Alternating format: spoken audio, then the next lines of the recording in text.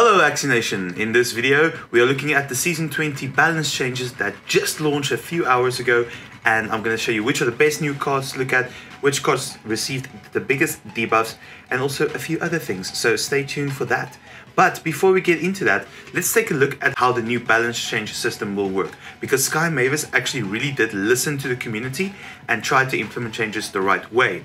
For example, this time the balance change actually happens before season 20 starts, so that if there is something that is unbalanced and just really too strong, then they have time to fix that. And just note that they did say they will implement hot fixes before the actual launch of season 20 to ensure that this happens.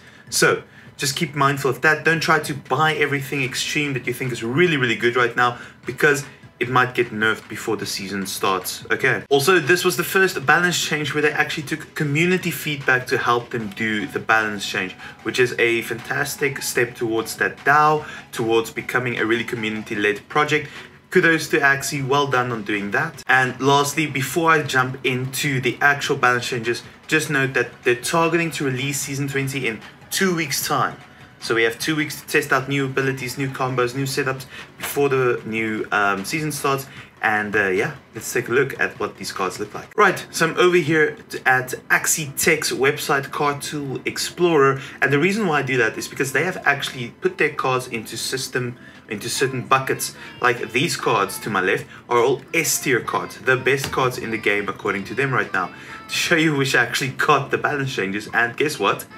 It is these cards. All eight of these S tier cards got balance changes. Let's take a look at how they were balanced. Arco will now be 100 attack and 45 shield, so decreases 5 shield. And the biggest change will be the text will read that it will have to be comboed with another card in order to gain the speed buff.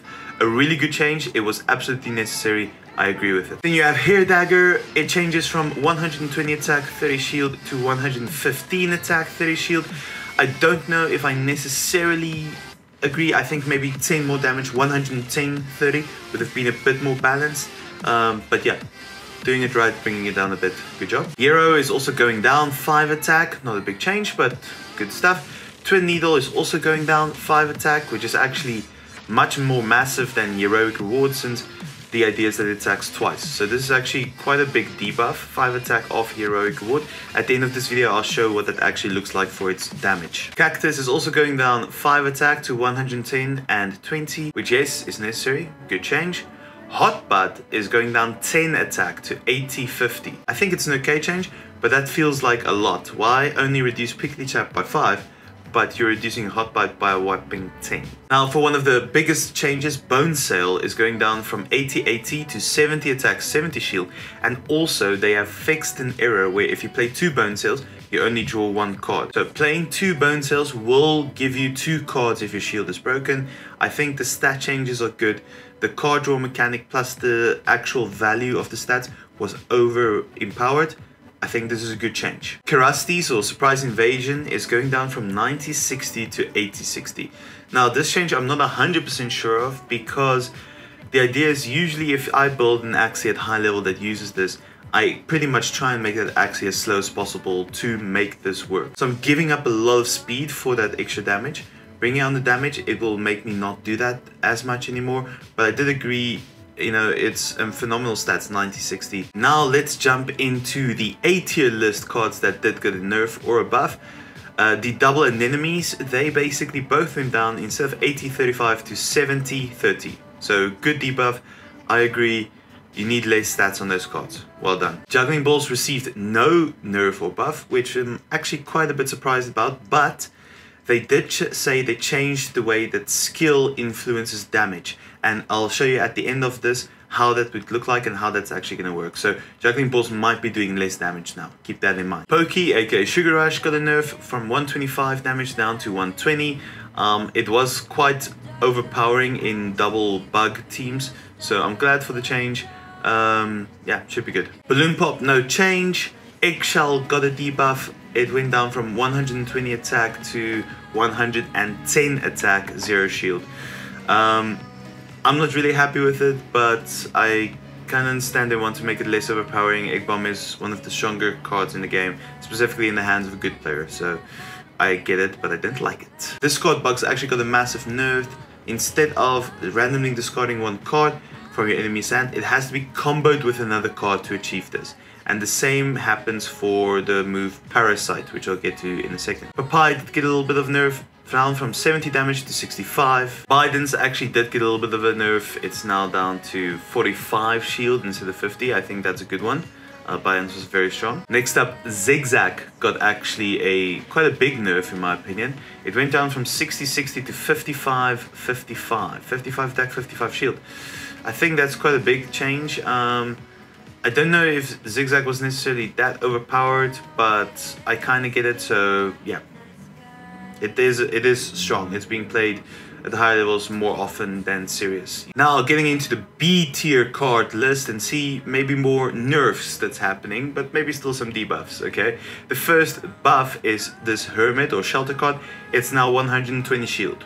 That's basically it. Oranda actually got a debuff. It is now 110 attack and 25 shield. So debuff for Aerosbane, which I don't really get. Risky Fish got a slight buff with 5 shield being added. So it's now 105 attack, 25 shield.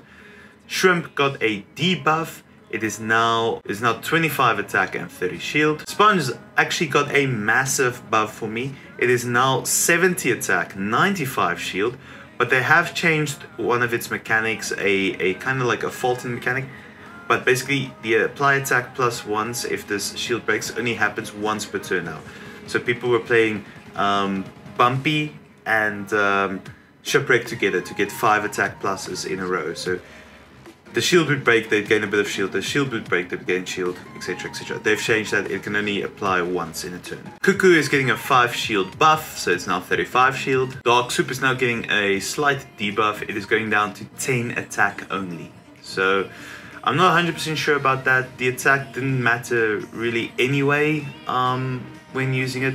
Maybe for bird versus bird, it changes the fact that a pure bird can take out another pure bird with just Dark Swoop and two other abilities. I think the damage actually makes that much of a difference.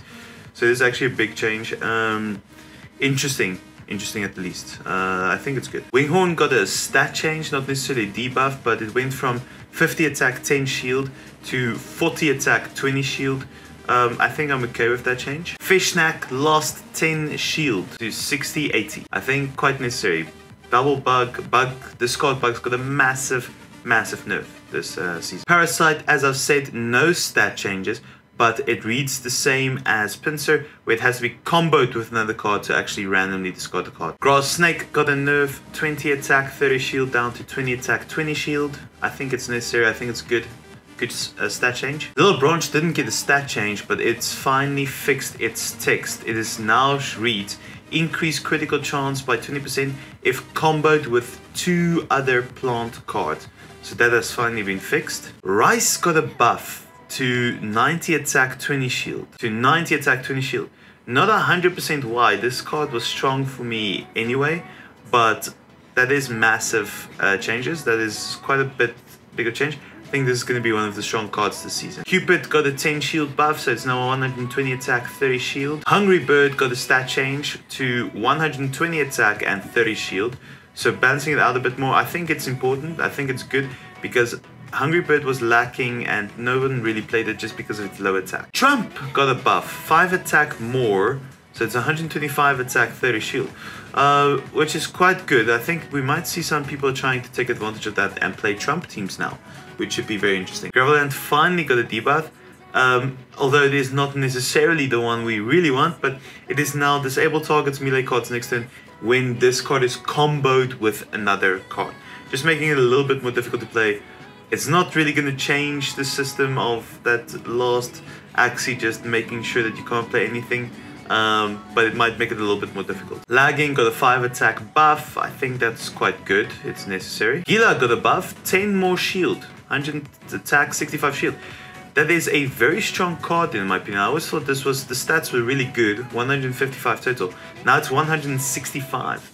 I think Tail is probably one of your most competitive slots.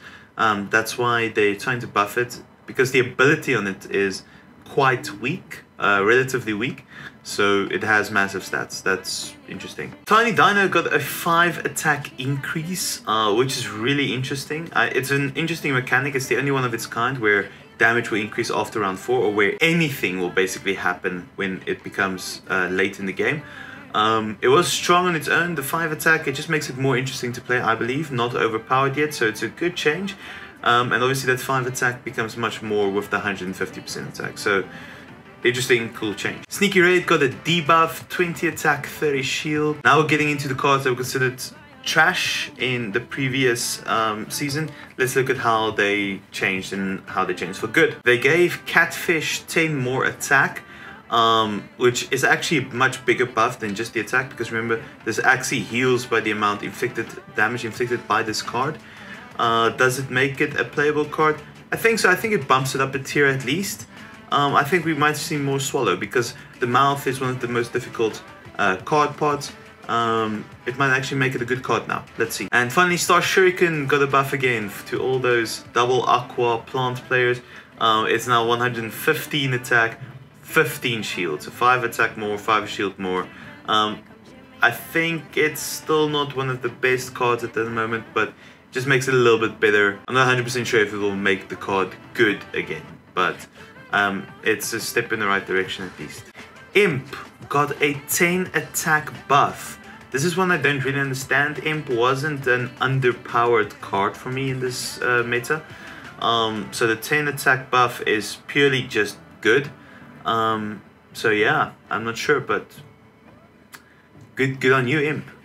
Timber got a 10 attack buff to 90 attack, 80 shield. Very interesting. Um, does it make it playable? I don't think that was really the problem with Timber. Um, but let's see if more people try it now. Cloud was a card that got absolutely no play, basically. Um, and they've made the change of 110 attack, 50, 40 shield. So increase attack, decrease shield. I don't think we'll see it still. Raven has a very interesting ability to apply Jinx so that other cards can't critical strike, and it's finally got a buff, because I always thought this was actually a bit of an underpowered card. The ability is cool, but doesn't do enough damage on the bird especially. So it now does 120 damage, 30 shield. Great change. I think we see the comeback of the Raven. Caterpillar's actually got a quite big buff. It got quite a big buff. It's 110 attack now and 60 shield. Um, its ability is actually underpowered or it doesn't no it's not underpowered it's it's kind of useless most of the time because you when you attack someone the idea is to reduce or take away the shield. So by uh, applying fear to shield the target you can only do that if you attack with grab surprise the first time basically. So uh, the ability is still meh but a really strong horn move right now. 110 attack 60 shield.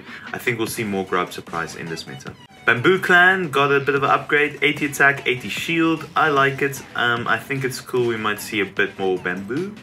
Potato Leaf also getting a buff, 80 attack, 80 shield. Um, does a bit more damage at least now. I'm not sure uh, since it's a uh, since it's a tail card. I still don't think we'll really see anything, and Aqua is not really that prevalent. Now for the lowest tier cards, let's see what happens. And most of them receive buffs, except for Tadpole, that stays the same. Gerbil does now 50 attack and 20 shield, so it's technically stronger than um, Winghorn right now. Um, interesting, but it's on a tail card, so I still don't expect it to see too much play, but at least they're trying to do something with it. They've completely switched around. It will now be 80 attack, 50 shield. Does that mean we will see it in play a bit more? Um, I don't think so, unless Poison Meta is still going to be very strong. Otherwise, I don't think so.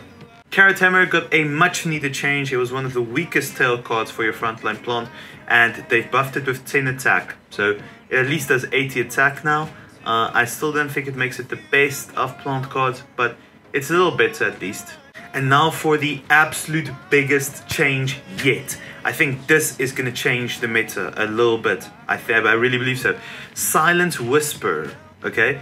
This card was always pretty useless because you it only heals your front, the guy in front of you, right? But they've changed it so that it heals the front teammate, but if there's no front teammate, it heals itself for 120. So they brought down the 190 to 120, but now it is very similar to Strawberry Shortcake, where it heals the front or the back, except it's one at one energy instead of two. Important to know. Its stats stay the same, but the most important thing is it's a mouthpiece card. Mouth being some of your weakest cards, this is a massive change. I think some Silence Whispers are going to be very strong in the meta now. Uh, watch out for Silence Whispers on uh, mid laners or backliners specifically. It's, I think it'll be massive. Some other cards I haven't mentioned that got changes. Confident is up from 0 attack 30 to 40 shield. Might see some play on it. And that's it for the balance changes, everyone. But there's two more interesting things that changed, and the one I'll see what the actual effect of is soon. But basically, the skill uh, change. So skill will have a different way of how it adds bonus damage. There's a different calculation to it right now, where there's the card damage multiplied by skill times 0.55 minus 12.25 divided by 100. Uh, I'm not sure, I have to do hardcore calculations to see how much it work. I'm going to play a game and let you know what the difference is. And then crit max, so they've only, they've maxed crit damage to 200%, um, which is in any case in PvE, PvP the max it can reach with dual strike, but it's actually more for PvE to make it a bit more difficult to play, um, which is interesting. Right, and now let's see the effect of juggling balls with the skill change that also used to do 54 attack against the bugs but now let's see when uh, with the skill change how much it actually does per hit now it hits for only 47 so I think big changes to both juggling balls and twin tails because of the skill change which was much needed